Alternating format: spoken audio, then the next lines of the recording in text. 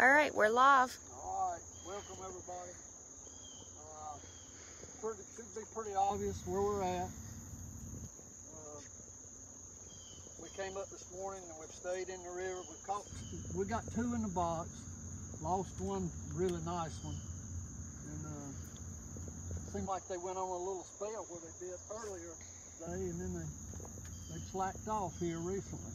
Uh, we've we've been throwing a variety of baits, and uh, caught one on a chatterbait, caught one on uh, this crankbait, waterwood crankbait. Courtney, I'm gonna make a cast, and I'm gonna see if you. What I want you to do is train, train the camera on the end of my rod, just on the very end. Look at the vibration. I don't know if y'all can see that or not. Look at the vibration in that bait. Now that bait's only running about foot and a half or two foot deep, but they can't stand that vibration. And what we've been doing is throwing in little eddies and breaks and stuff like that.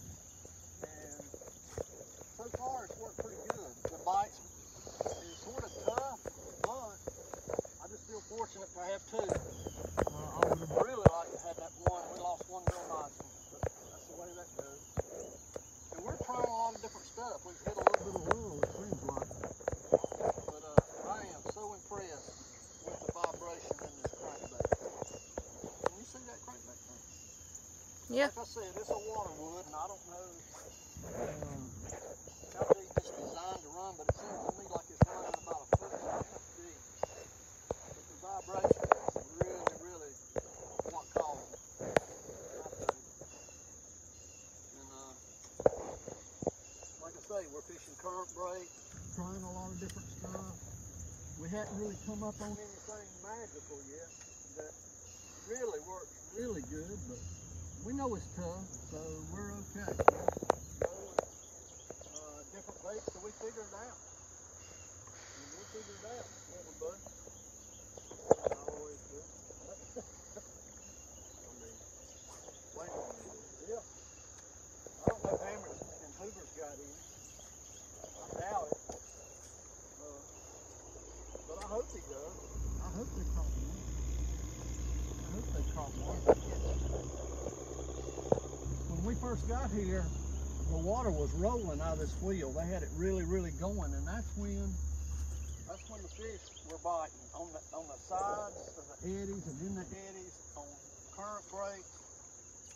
And since then, since they've slowed the, the water generation down, it's gotten it's gotten a little bit tougher. But we'll figure out. We'll catch three more somehow. We'll catch three more. We just, I want to catch a great big. one. What was that that squirrel I broke? Something just squirrel right there.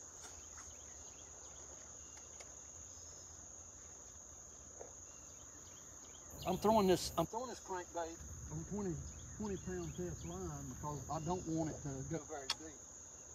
We're, we've been fishing about 1.5 foot deep all day.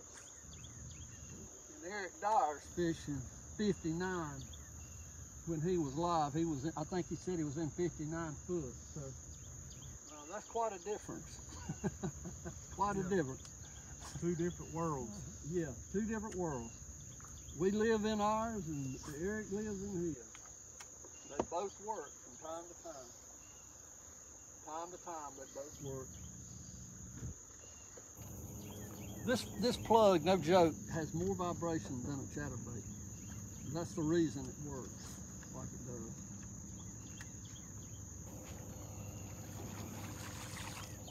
And we're we're, we're further away from the dam than we have been this morning. And so there's less water movement. So this could actually be a mistake. We don't know yet. But for about 30 minutes up there, we, we didn't get bit. So we're trying something a little bit different just to see if maybe some are set up down here and a little bit less current.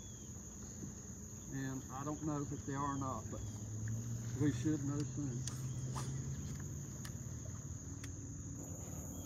I don't know what anybody's got. I think, didn't Eric say he didn't have any for you? Yeah, he doesn't have any. And I don't know if Hamrick. I don't think he has I any. doubt if Hamrick's got anything. No. He, he hadn't tied on in about a month. He tied. Checked his line this morning and He did stretch his line in the parking lot this morning. Uh, I was scared to death it was gonna break. It's been so long since he stretched it. But Yes, so any, you need you line companies you're watching, maybe Yeah. y'all give Hamrick a little help. Well, you know, I don't know, Jason. If he had a line sponsor, I don't. I still don't think he'd put it on. That Take- takes take effort. time. It takes effort. You think he's too lazy? I'm saying he's lazy. Terrible lazy. I tell you what I'm gonna do though one day. I'm gonna I'm gonna bring him up in the river and teach him how to fish a river because I don't think he knows. I mean, I don't. What do you think, Jason? I just don't think he knows anything about it. We probably shouldn't talk too bad about him, though. He is on our team today. I tried to trade him out for Dyer, but they wouldn't.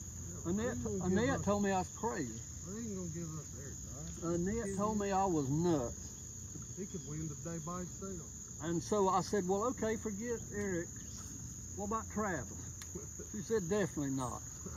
I said, I said, well, the Parker brothers, you know, I'll take either one of them because I know they're good too, but trade me somebody for Hammer. They wouldn't, she wouldn't do it. She just wouldn't do it. Uh-uh. All right, y'all, see that bird down there on that rock, Courtney? See that bird? Can you focus on that, honey? That's a good sign right there.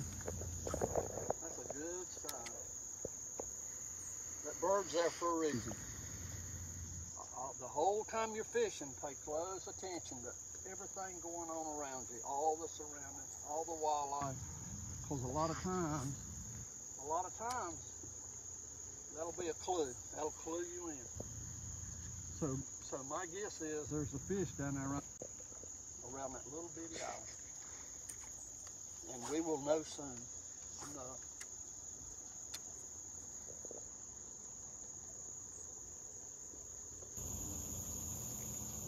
We will know soon enough. Jason, they ought to, they ought to hit that spook, buddy. I thought that was a good idea, tying it on. You know what dummy just called me? Who? Hamrick. Who did? Hamrick just called me, A knowing? I'm on live. Called me on my phone. Just don't know. Just, you have to forgive him. Oh gosh. You have to forgive him. That shit, well, I think it still will. Hey, how big, like, we, it's four foot deep here. We, you know, that can make a difference too. That can make a big difference too. I don't, I really, Oh, maybe that was Vince Parker. okay. he called you dummy?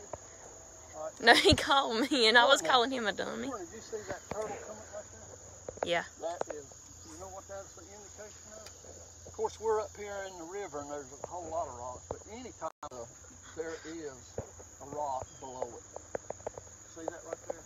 Can you see that? Mm-hmm. That's usually a good sign. That means, that means that there's a rock. Of course, there's plenty of rocks up here, so. We look for We look for rocks, love rocks. It'll provide current breaks.